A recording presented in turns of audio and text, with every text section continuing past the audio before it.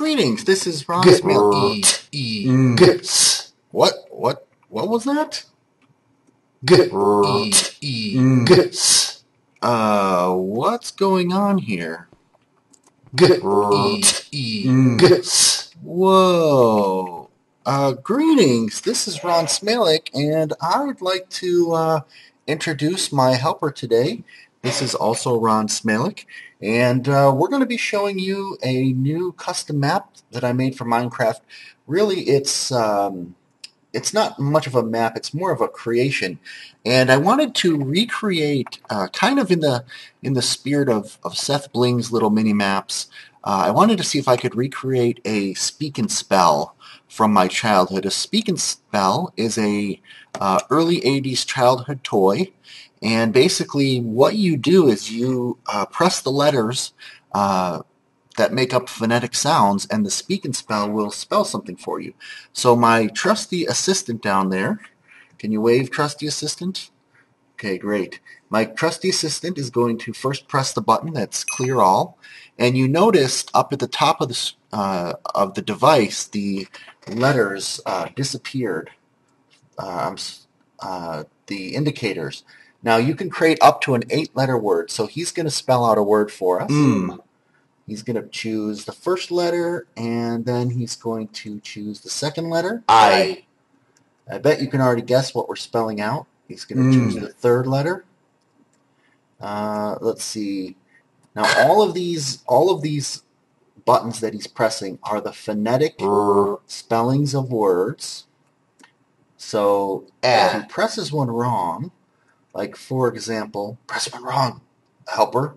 Eh. Oh, he didn't mean an eh.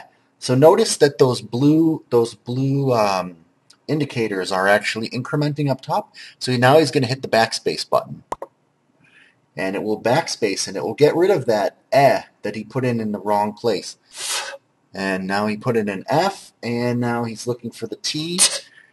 Okay, now you notice that red blinking light. That means that he's entered all eight characters. And he's going to press the say button. Mm. I. Mm. F. What was that?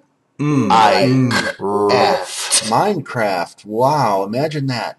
Now, let's say he's going to do clear all, and just to show you that you don't actually need to do a um, a full eight uh, syllable word, he's going to go ahead and just do a short one. B. Okay, he chose a B sound I. and an I sound. Well, gee, what does that spell? Bye. Bye.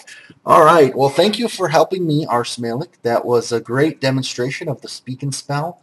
Uh, it has, again, it has the, let's go take a look at it. It's got the phonetic letters. So this is a A, A. this is an A, A. this is an A, Ah. etc., etc. Uh, this is an M. Mm. Mm, it's an M. Shh. Shh. Y, a Y, like a Y sound, an Uh, Uh. a U, You. And uh, I've put in more than eight letters. Well, let's hear what I spelled. B. I. A. Ah. Mm. Shh. All right.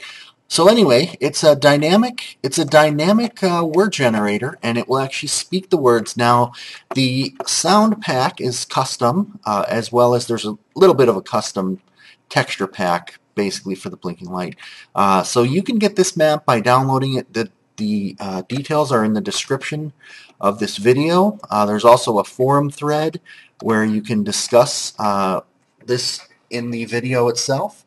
And, you know, I guess um, if you come back to my next video, I'm going to do a behind-the-scenes look at the mechanics that make this all possible. So I guess uh, Uh. I will see you next time. I. I hope you enjoy.